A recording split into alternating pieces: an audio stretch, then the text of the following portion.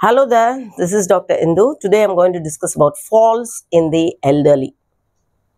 I've spoken about this many times before, but I thought I will repeat this topic because we encounter this condition very often in day to day clinical practice. When I go for my rounds in hospitals, what I see is when an elderly person falls and sustains injuries, only the injury is treated there is no in-depth investigation to find out what caused the fall. There can be very, very different reasons for falls in the elderly which should be investigated and treated properly so that the falls do not recur. It can be due to various reasons. Most often it is brushed off as, oh, he's old or she's old.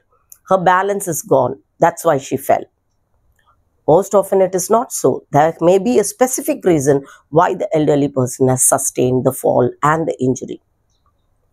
In my practice, the most common causes are high sugar, low sugar, due to overdoses of medication or underdosing of medication, high blood pressure, low blood pressure, again due to over medications or under medications, and also electrolyte imbalance, which is often overlooked. Most of the geriatric patients will be under many consultants and they will be having many prescriptions which they have to follow.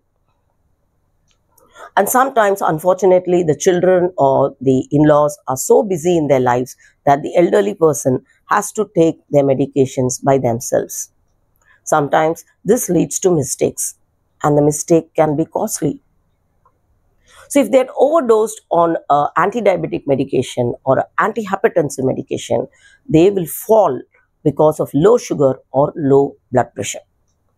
And sometimes because of the polypharmacy or the uh, meaning that following many prescriptions of many doctors, there may be repetition of medications which may cause imbalance or electrolyte imbalance. So when a person presents with a fall, especially a geriatric patient, geriatric patients means people over 65, they have to be investigated thoroughly for the underlying cause. See their gait, check their sugars, check their prescriptions, and also check their electrolytes. Thank you.